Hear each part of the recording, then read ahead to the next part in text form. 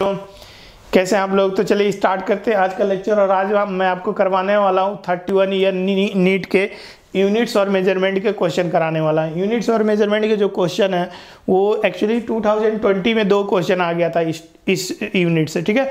आप देखो कितना आसान है यार, कितना कम पढ़ के आपको दो क्वेश्चन मिल जाता है, ठीक है?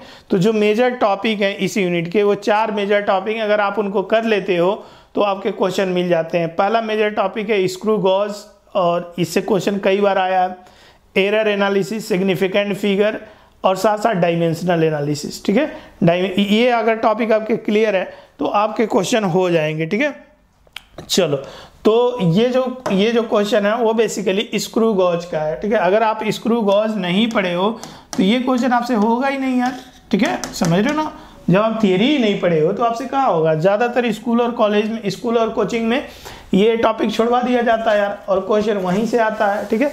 चलो तो ये स्क्रू गॉज कहता है लिस्ट काउंट दिया हुआ लिस्ट काउंट कितना? है point zero one least count वो होता जो किसी भी डिवाइस के लिए लिस्ट काउंट मिनिमम मेज़रमेंट होता है, ठीक है? मिनिमम मेज़रमेंट इतना है। और number of division, number of division, circular scale पे नंबर ऑफ़ डिवीज़न वो 50 दिया हुआ।